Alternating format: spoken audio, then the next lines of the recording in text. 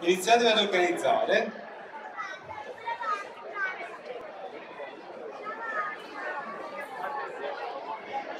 Vedendo quando passiamo di là noi persone devono portare fuori